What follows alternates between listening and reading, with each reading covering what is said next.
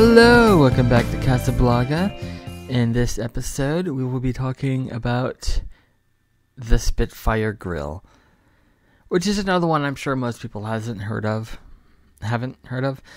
Uh, this one is a 1996 film directed by Lee David Zlotoff, and it stars Alison Elliott, Ellen Burstyn, and Marcia Gay Harden. I think out of those three names, that well, four names, including the director, the only one people would probably know is Ellen Burstyn. She played the mother on The Exorcist, and she recently reprised her role for Exorcist Believer. This film uh, starts off with uh, the opening credit shows her in prison. She's at like a call center in the prison, and uh, at the end of the opening credits, it shows her being released, and then shows her like heading to a small town. She basically goes to a small town called Gilead to start over. And she gets a job at a little local diner called the Spitfire Grill, thus the name. And Ellen Burstyn is actually the owner of the Spitfire Grill. She's uh, this older lady. And I've always, I don't know if it's obvious based on some of the movies I've chosen to cover, or because I talk about these kind of movies a lot. I like small town movies. There's like this, and then I did uh, What's Eating Gilbert Grape, and and like that's like a bunch of other ones. I have a couple more coming up this season. Uh, at least the first half. There's uh, not a lot of movies people have heard of. Anyway, so this one I actually saw for the first time like 20 years ago, and I didn't remember anything except for the very beginning and the very end.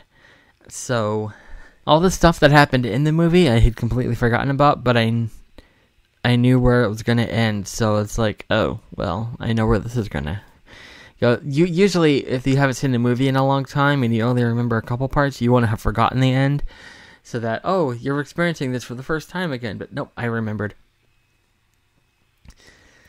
But it didn't ruin the movie. It just it didn't help that i i, I basically had it spoiled just from having seen it already. You get the idea. I've seen it and i remember the end. So like i said a minute ago the uh it's a small town movie. And I, I always like small town movies because um, it's like there's not a lot of characters, and the characters that are there, like they usually all know each other.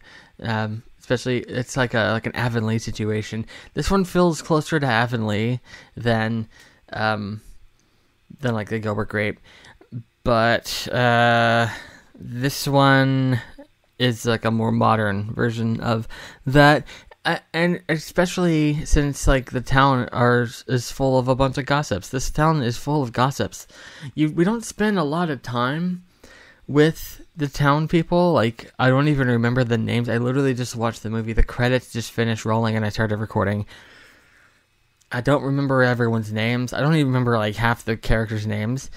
I think I know they said it because they were like they would have to say the names, and, I, and like I knew who they were talking about when they would say it, but like I didn't retain the information.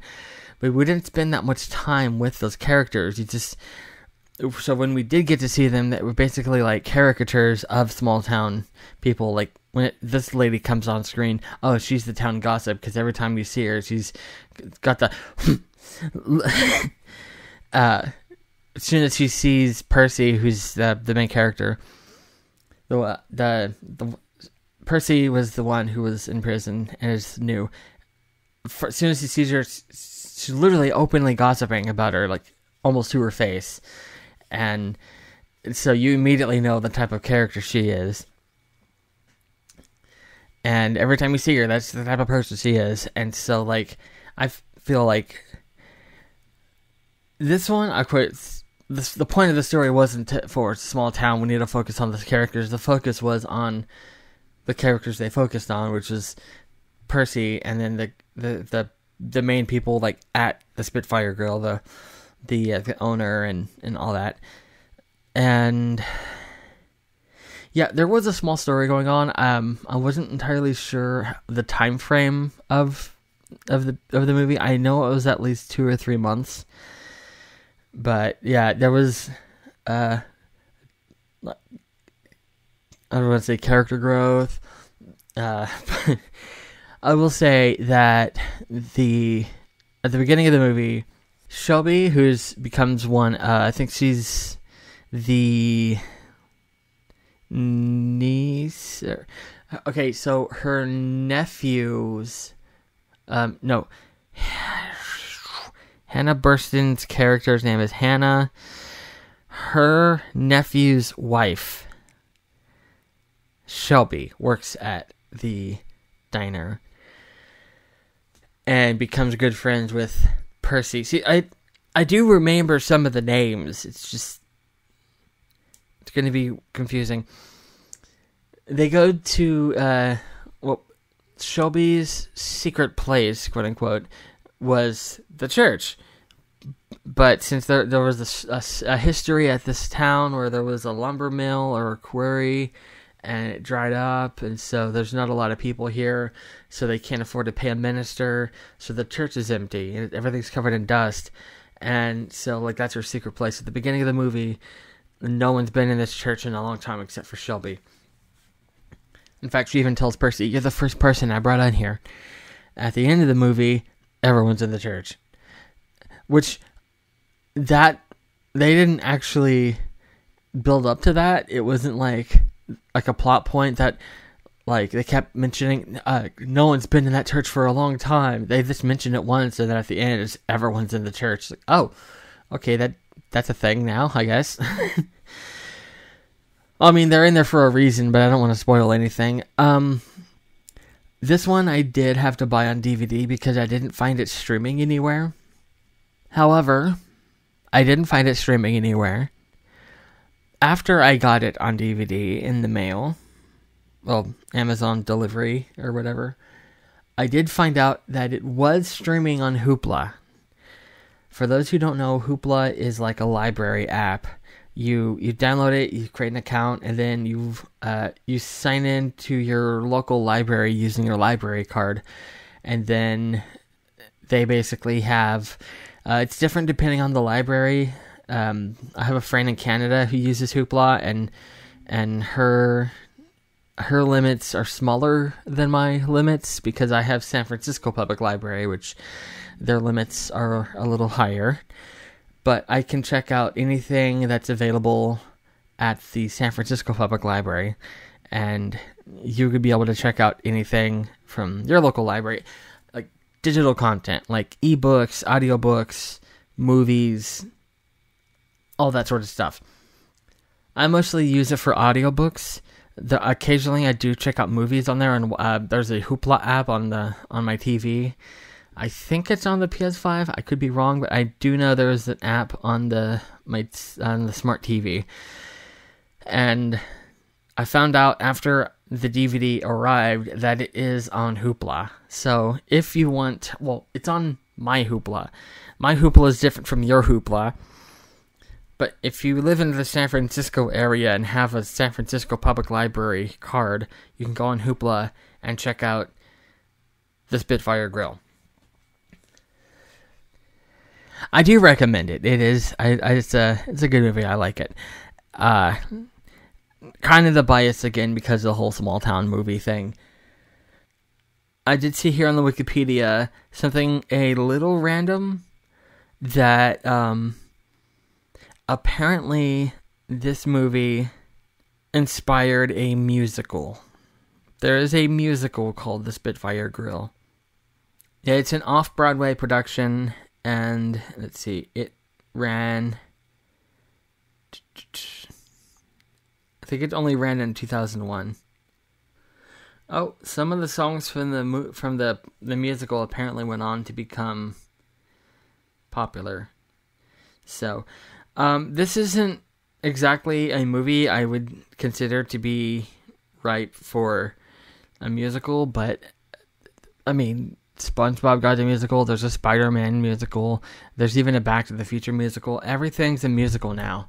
So sure, make the Spitfire Grill into a musical. That sounds like something I would joke about. It's like, yeah, this Spitfire Grill, let's make it into a musical. No, they they really made it into a musical on Broadway. Well, off Broadway actually. But I am kind of curious about it now. I wonder if, well, I mean, if it only ran in 2001, I don't think it would. I know there's a Broadway. Wait, there. Oh, there are links on the Wikipedia. There's an official website. I'm gonna go to it right now. Spitfire Grill musical. Ah. There, uh, there's a store. I can purchase the. I can purchase the album. Oh, it's on Spotify. All right, let's look at the Spitfire Grill musical on Spotify.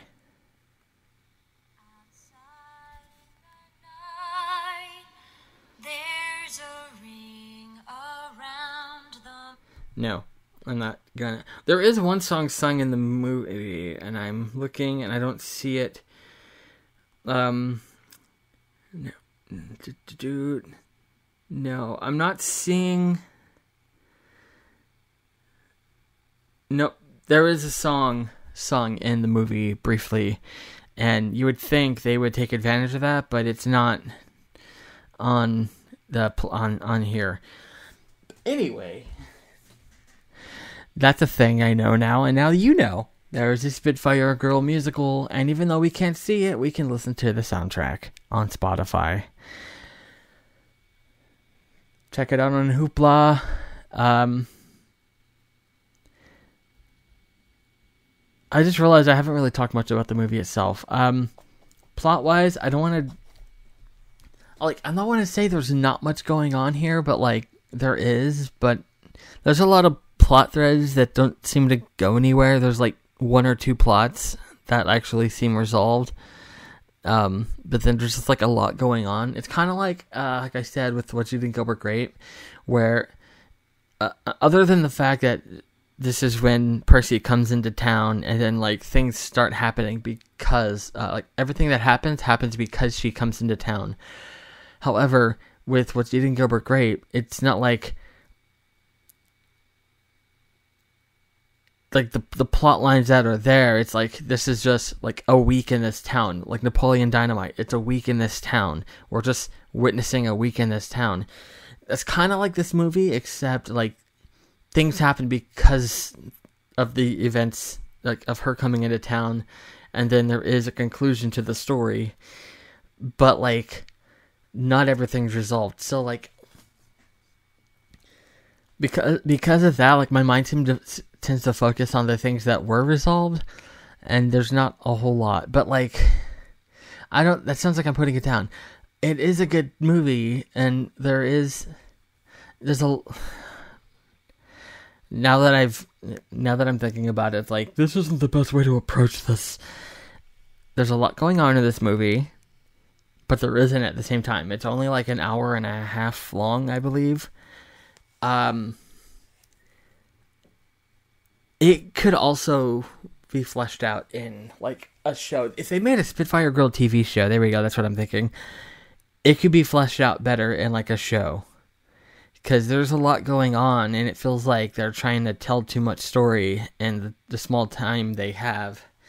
And if they were to do like a Northern Exposure type show, then they would actually have more time to tell more stories in this small town. And like the way it ends, like it's not like a cliffhanger, like oh, there's going to be a sequel. It's like it ends in a way that's like oh, this isn't the end of the story. There's going to be more happening, and I would kind of like the sequel to like see more of the story, what's going to happen next to these characters, and then like what happens in the last scene. I want to see what happens after that. like I kind of want to say what happens, but at the same time, I realize that probably nobody watching, uh, listening to this episode has seen it, and I'm trying to encourage you to go see it. If this was like a very popular movie that everyone's seen, I would be like, oh yeah, and then this happens, um, and then what happens to this person next? But instead, I'm I'm wording it exactly like that.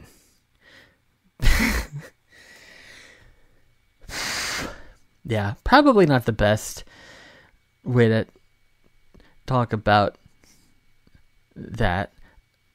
I'm trying not to spoil anything because I want you to see it. Check it out on Hoopla if it's on your Hoopla. Or do like I did, buy it on DVD. On Amazon. Anyway, I'm going to end this one right here. And cut.